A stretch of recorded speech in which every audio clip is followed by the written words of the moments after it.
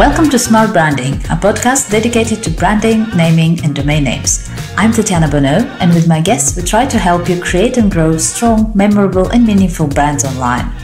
I believe time is one of our most precious assets, and so I want to thank you in advance if you decide to spend the next 30 minutes with us. I promise to do my best to make those worth it. Let's go!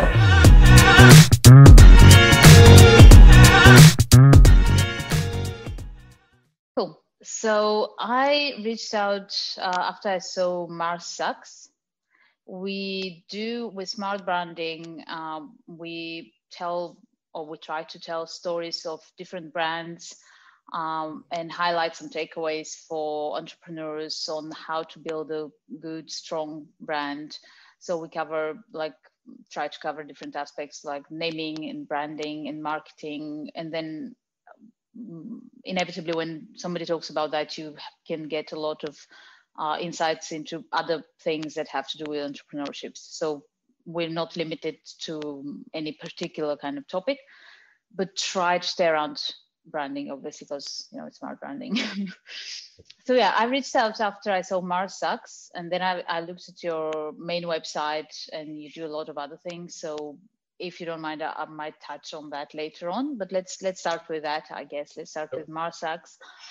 Uh, yeah, tell me how how did that came about? Obviously, our lives are connected to the water, to the oceans, to everything. So and, and, and now we are traveling to Mars trying to find out if we have water there.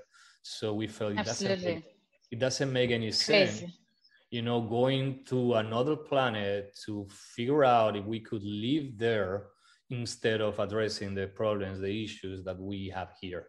So that was the idea Absolutely. basically. And also we, we read an article, uh, an interview actually uh, on Fast Company, the magazine, and uh, they interviewed the uh, founder of Patagonia, and he said more or less the same. He was asked about Elon Musk, and what mm. do you think about these billionaires who are spending billions of dollars on trying to take us to Mars? And he said he had the same thought basically. Is I mm-hmm. think crazy. Actually, he says screw Mars. Screw Mars. Uh, I want to design a T-shirt. I'm going to ask my team to design a, a T-shirt screw Mars. So we thought, wow, there is something interesting even in the land, right? But basically, yeah. Uh, this is not about you know against uh, SpaceX or space exploration. This is about priorities. Mm. And, and then we started working, and, and finally with this brand, uh, we decided to to explore a different route, and we we produced that route. And then we when when Earth Day was coming this year, we thought, hey, that's a very interesting message. We really want to do something to celebrate Earth Day in a different way mm. Because we shouldn't celebrate it because we are killing our planet. So instead of mm. celebrating, let's try to make a point. And that's the way we started working on Mars Sucks. And then we thought, hey, what if Earth itself, the planet, signs the campaign? What if is Earth telling us, hey, Mars Sucks for this, for that, or for that? Absolutely.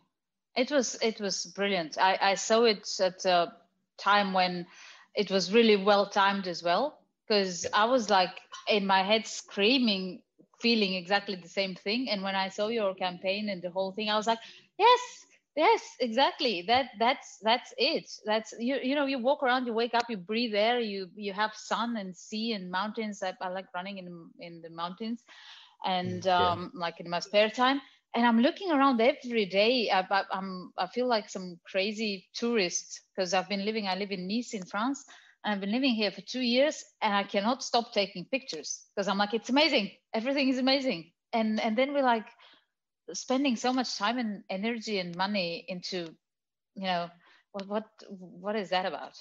So yeah, yeah. Um, that's, I, I really, I really found it great. Uh, you mentioned that started with some thoughts. Uh, if if I got that correct, that uh, somebody they wanted to print a T-shirt with Screw Mars. How did you how did you decide on Mars Sucks? It was as quickly. A name? Yeah, it was quickly. I mean, we really wanted to have uh, with this idea. It's this is a hook, right? We really want to provoke a conversation, right?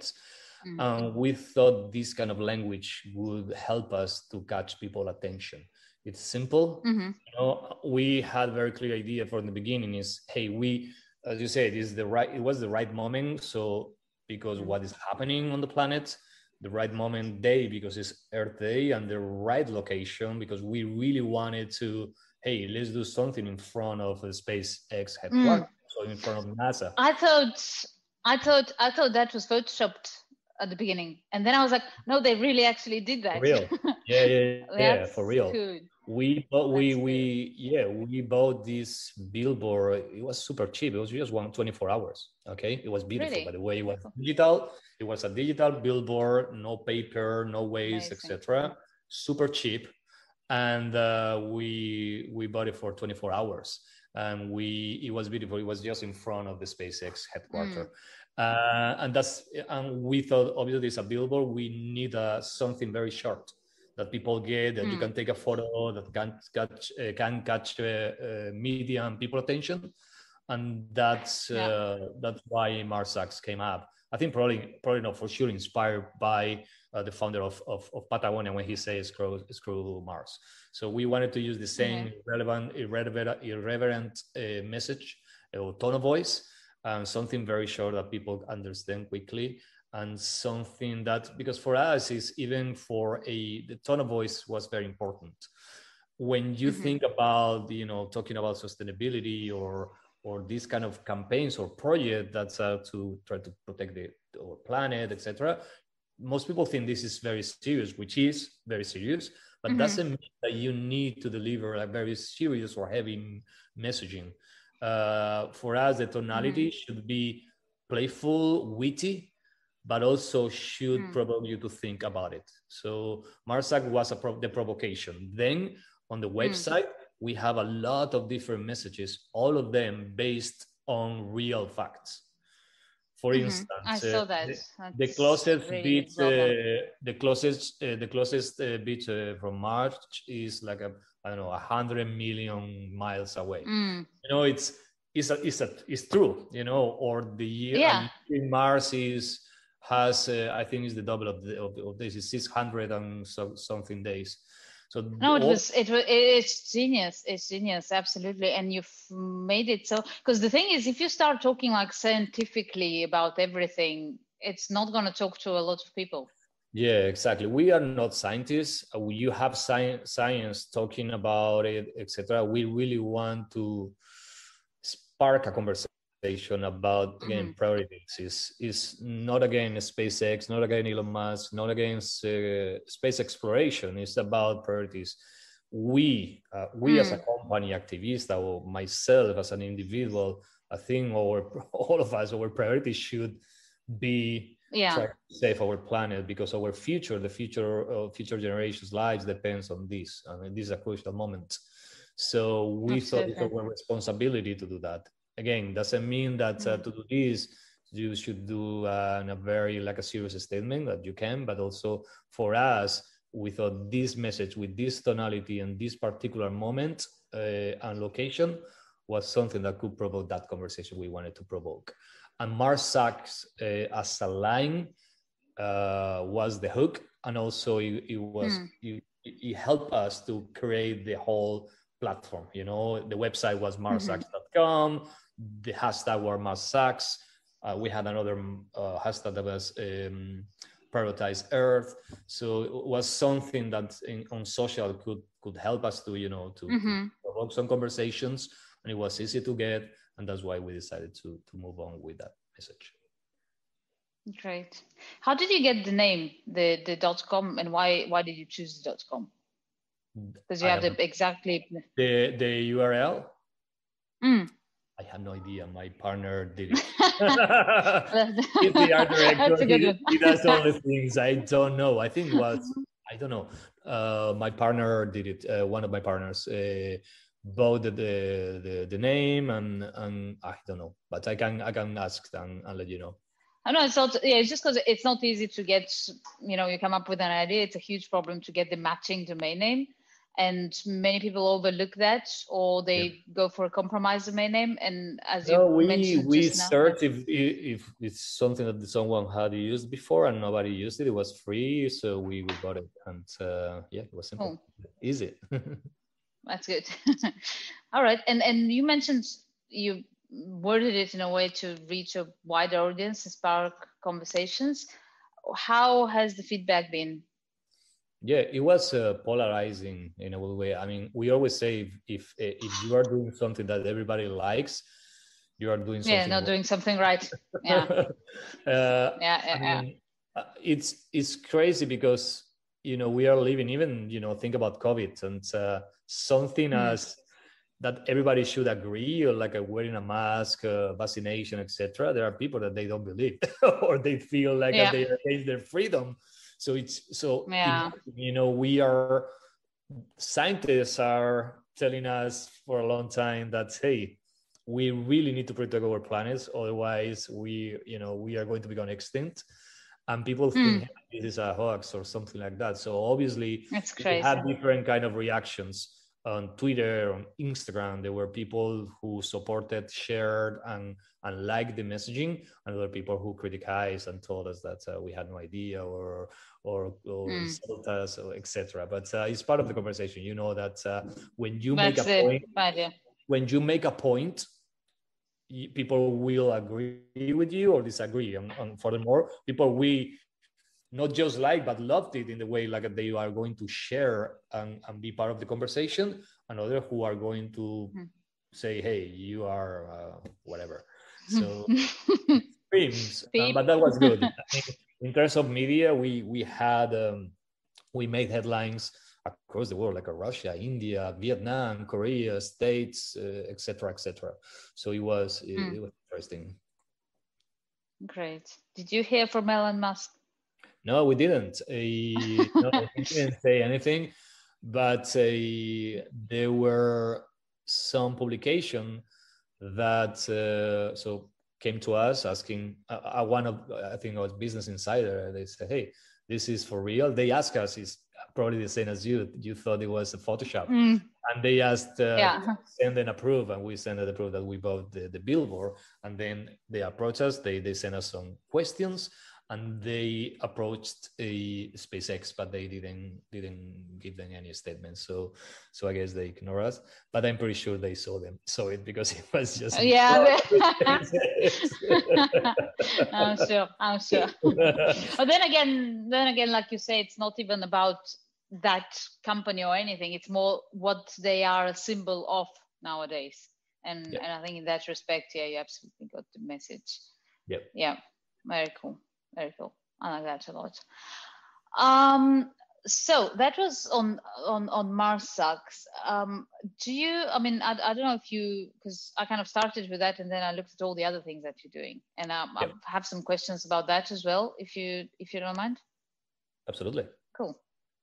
So you, I mean, how would you how would you call yourself? What, what do you do as an agency? The yeah. So yeah, we are a, a creative company uh, uh, uh, uh, with a mission with uh, committed to driving positive change. You know, it's mm-hmm. me and my partner. He's Brazilian. I'm Spanish.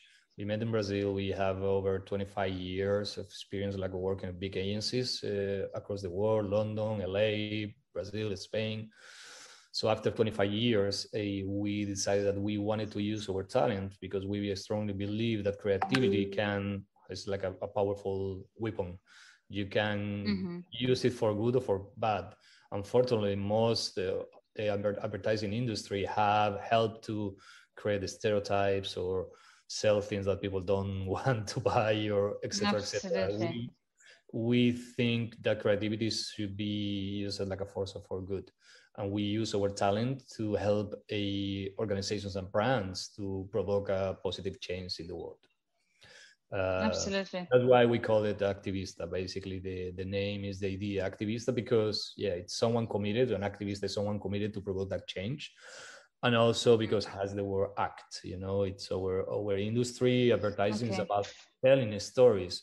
We feel in this moment it's sometimes the acts are more important and powerful than the ads. So that's uh, that's the mm. approach. How we help uh, those brand organizations that are truly committed to promote that that change, that positive mm. change or positive impact. That's great. Yeah, you kind of sort of overlapped with what I had as a question because I was recently watching uh, Mad Men. Yep. And I know I'm like super behind on that. Like everybody has watched it a gazillion years ago, but I'm watching it yeah. now. And that, that was going to be my question because because uh, advert I think they've captured in the in that series really well the how advertising is portrayed and how people see advertising and unfortunately how it is in a lot of cases uh, where it's like uh, manipulative and you're trying to sell people something and it's all for profit um, so yeah you, you, you what you do is driving positive change with advertising. Yeah. so using that that force for good. Yeah Can that... we... yeah go ahead. Go go go please. No, no go go. No i was gonna say because the, the, business obviously has to be for profit you know people go into business or most of, of them. so can how, or not even can because obviously you're doing it and many companies luckily yeah. now it's almost like becoming fashionable. And i'm i'm in two minds of oh now it's fashionable to be good. And then i'm like who cares? You know if everybody's is good and they're doing good things and it's better the reasons why they're doing it whether it's to be fashionable or because they truly mean it you know i can live with that i think. That's, yeah, sure. that's kind of my take on that. But from your experience can can a brand can a business be socially responsible? And like genuinely good and profitable they have to because otherwise um, you know, especially between young people, it's nobody will buy them. Uh, that's something mm. that is happening more and more. You know, it's you know, in the past you had different reasons to buy one product or their comp- or their competitors, price, design, distribution, etc. Now another big reason is the impact that that product or brand is doing on the world. So between a brand that is, you know, this packaging is uh, sustainable or this one is not mm. i prefer this one so it's not just because they now everyone became an activist etc it's because also you are not going to sell your product uh, because more and more people is not just about how much uh, so it's not about the price it's about why should i buy you and not your competitors mm. and i'm not in like uh, things related to sustainability but also we have people, consumers, have more and more information about brands. Mm. And if you are a brand that you are, you know, in your ads talking about gender equality, but people now know then, how many men and women, I mean, that kind of things. Uh, and it's a reason, uh, again, uh, that's why we feel we, we believe that say brands should have, you know, they need to exist for something for any reason and not just for growing and selling more and more. You know what's your role? Mm-hmm. what you are doing uh, for the world? Um, i mean that's some brands but others is hey i'm um, i don't know a ham strawberry ham and i just want to produce or a cheese brand i just want to produce the best cheese that i can produce good but that produces in a sustainable way pay, pay fairly to your workers etc etc so that's mm-hmm. that's uh, something that brands need to take care that nobody take took care before. And that's something important or reason to choose a brand on another. Nobody's perfect mm-hmm. obviously because and, and, that's for brands for all of us we can become uh, zero waste or i mean we, we need to actually but but we need to bend the technologies or a lot of things so like a more complicated conversation and obviously the work can stop hey we can stop uh, producing. Think about COVID. You know, we mm. stopped and suddenly the economies went down. This is about yeah. redefining economies, redefining goals. We can, you know, the companies or corporations can be based on, you know, every every year you need to grow more and more and more, but because that is is unsustainable. So we mm. need to find the right balance. That's that's the thing. And obviously there are brands that were born, you know, mother brands that that were born like they were created with a mission, uh, with a mm-hmm. purpose. But other other brands that they need to adapt to these times, and and and we help both. And obviously nobody's this is not about perfection. Even patagonia which is the more sustainable uh, brand maybe and they are not. I mean once you produce something you're polluting somehow you know? Mm. the thing is you need to reduce as much as you can your impact. You need to be sustainable. That's that's what all the brands have to do. Mm. yeah. Absolutely. That makes sense. That makes sense.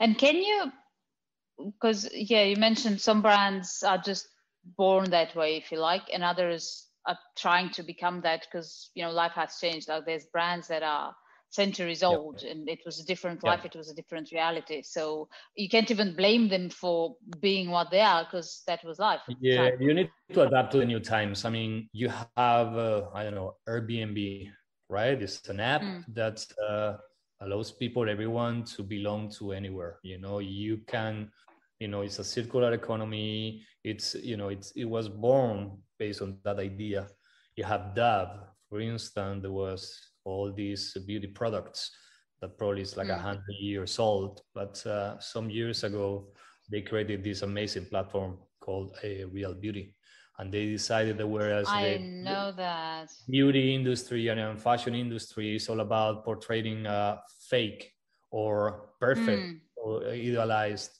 beauty, they decided to stand for real beauty, and they changed the whole thing, the way they cast women, the way they, the kind of women they feature in their ads. They created this foundation to help them. They were really ahead of time, I think, on exactly. That. And they basically their purpose was is not just about selling you more shampoo or mm. wash thing.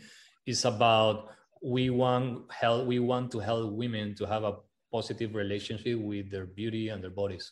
And that's their mm. mission that's their purpose right? They want do they want to sell more? Obviously otherwise they are not going to survive.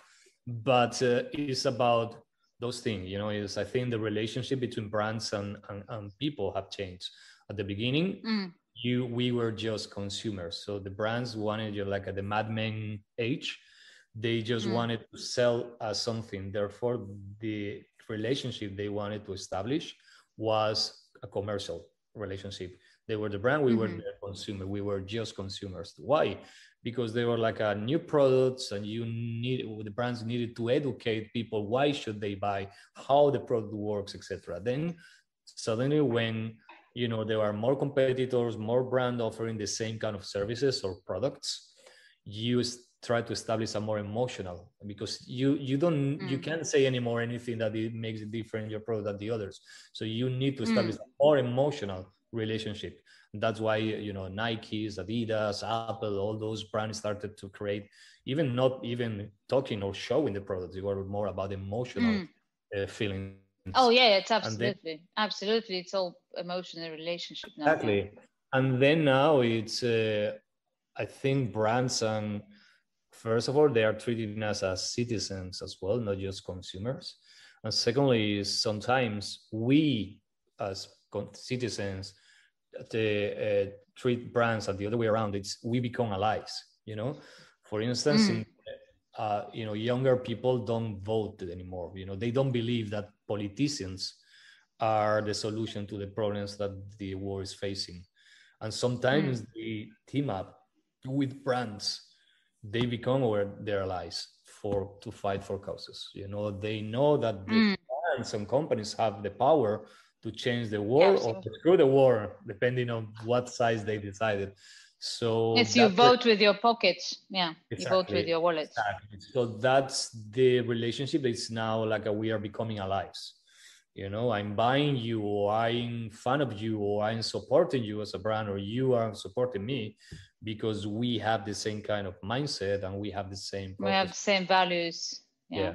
obviously Absolutely. no always is perfect you you see a lot of mm. brands mm. out there that they are greenwashing and they don't have a, a fully commitment on the other mm. on the other hand is obviously no brand is perfect you know this is not about perfection this is about progress this is about trying to do your best and committing you know it's that's why we say mm it's more important what you do than what you say. So do take action first and then communicate it. Don't tell me about I don't know LGBTQ mm-hmm. rights and and you didn't uh, hire a trans person because it was trans. You know, remember what I mean? Mm-hmm. So, Absolutely, yeah. yeah. On that, because you obviously like, I'm sure you have a lot of people or a lot of brands approaching you to work with you.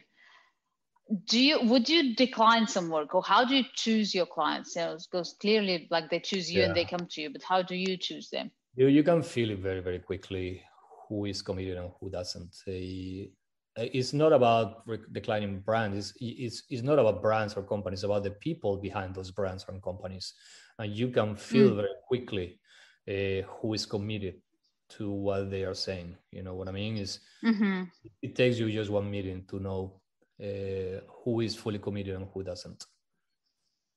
okay. So you, but you would. We don't. Yeah, we decline if we feel that that's something that is they are using just to greenwash it or something, we we decline mm.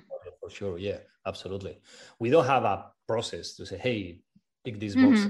Just you know, it's okay. let's see the process. Let's see the history of the brand. Let's see who, who is you know the persons behind the brand, their commitment and their their their their uh, their a ambitions and, and what they're really mm-hmm. committed that's that's what just uh, we go through everything they they want to tell us and we analyze the project and then we decide if it's for us or if it doesn't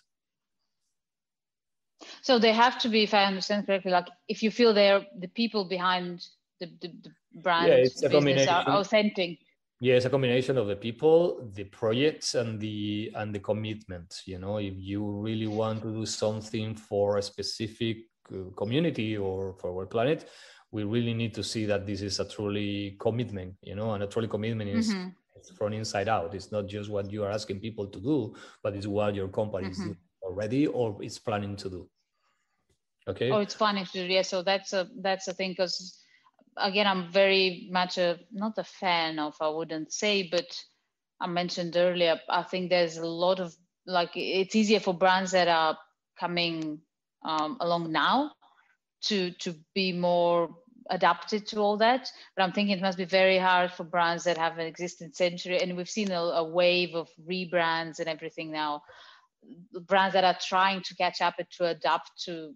And yeah, yeah. yeah. Obviously, if you if your brand is 200 years old, mm. you need to adapt. You can't say, "Hey, let's start from scratch." You know, it's it's something yeah. the same as us. I mean, I'm not anymore like a a young person like I, you know, 20, and I need to adapt to the time. So that kind of things. A, but uh, again, you, for instance, another brand that we've been working lately is REN Skincare, and uh, this he is, is is a Swedish brand that Unilever bought some time ago, and they had always been pioneer of skincare in terms of uh, no chemis- uh, chemicals to your like the products, and also it's, it's very sustainable in the way that the packaging, etc.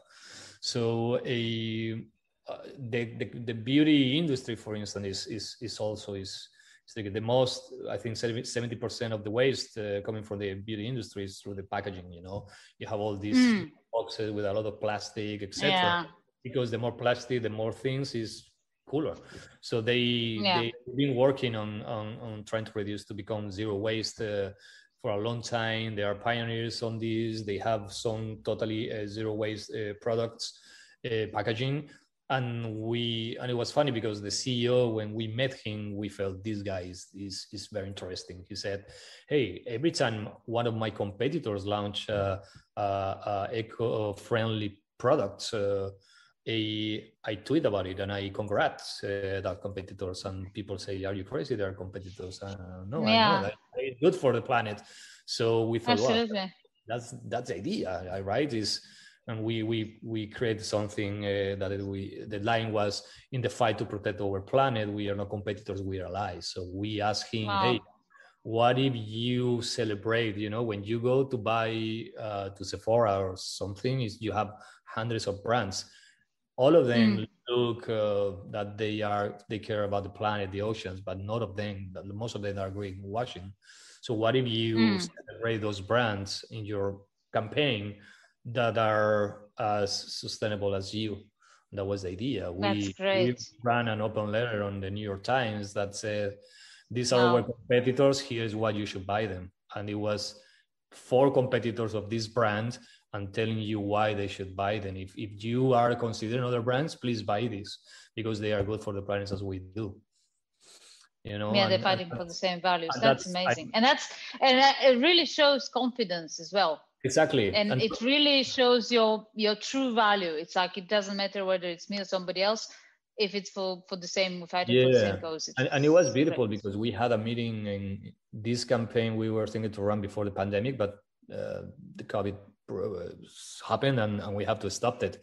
But before the pandemic, we were in San Francisco in a hotel, like a meeting where uh, this brand invited the competitors, the CEOs and founders of those competitors. It was one oh.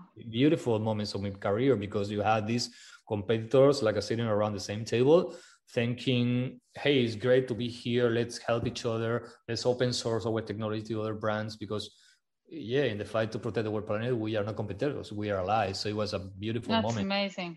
Yeah. That's great. That's great. That's really lovely and it's very reflective of of your other work as well. And when when initially when I yeah, because I came I reached out to you for Mars Sucks and then I looked at your website and actually recognized some campaigns that I've known and loved over time, and I didn't know they're yours. And and that's always been my uh, concern. Is maybe the word when because there's that thing that everybody tells you you should be good, you should do good. Same in business, and because yep. inevitably we work a huge percentage of our life. So when you say you know in business that's still your life, that's still you uh, and everybody even like starting when you're a kid tells you, you you should be good you should do good and then you see that sort of a massacre that goes you know for profit for cash for whatever and i've really and that's why i brought up more questions about you and what you do and your campaigns and the brands you work with because i really want to to bring to the surface and highlight the fact that actually good works as well. Like yeah, you no, don't have to do that cutthroat you know mentality to to be a top global brand or business or entrepreneur. Yeah yeah and actually you will find that there's a lot of data uh, that um, support these theories in terms of i'm trying to find uh, stats that says let me see what is it? Um, that says a you know especially between young people you know mm. they, they, decide what brands are going to buy. As you said is they are voting for their uh, uh, career for the for, with their wallets there is a, a stat that 66% consumers would switch from a product they typically buy to a new product from a purpose driven company. This mm. comes to 91% for millennials. Wow. So it's a fact. I mean again is some people are doing because they strongly believe they they feel they have a responsibility for the planet for communities etc etc and also because this is, is, otherwise you are going to be able to sell mm. those it's two good. reasons that more do, do, both are valid uh, it doesn't matter yeah. if you are doing for one reason or another for both it's good i mean uh, the outcome is, yeah. is good for everyone so absolutely absolutely right Hold on. I think I'm losing you there. Is that my connection or yours? Hello? You there? Your, my connection is still. I think we'll have some problem with connection. Yeah. You, can you hear me? Yep. Yeah, I can hear you now. You're back. Okay. Can you hear me? Yep. I have just okay. five more minutes. I really need to run. yeah, absolutely. I know. I know. I can talk forever. I can talk forever. I have uh, like other questions, but let's forget about them. And just a quick one what would your advice be to entrepreneurs that are just starting out in terms of branding oh that's a difficult question. uh, quick one. A, well a i think a i think you should have a very clear idea what you are offering. I mean this is we are a creative company. We help brands to for me the most difficult thing is you know a brand a startup a company is about trying to get a little space in the brain of uh, the head mm. of, of people so how you can get there how they can consider you how they can uh, uh, position you it's you really mm. need to have a very clear, and simple statement is, you know, the elevator page. You know, when you have mm-hmm. mm-hmm. one minute to talk about something, to pitch an idea, someone is just one line. Tell me one line. Uh, uh for me, it's very important now. Yeah, exactly. It's uh, what's your purpose? Why do you exist? For mm-hmm. me, that's the main thing. Is and it's not easy to find out. You know, it's what's why your brand, company, service, or whatever exists. What are you giving to? You know, what are you offering uh, that is good for us, for people, and for our planet somehow?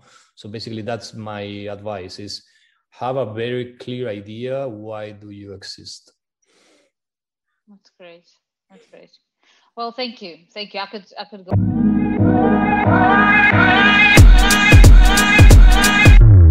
Thank you for joining us in this episode of Smart Branding Podcast. Feel free to visit smartbranding.com for more information and reach out if you have any suggestions, questions, ideas, or just want to learn more about how a good domain name strategy can help you build a strong and successful brand. See you next time.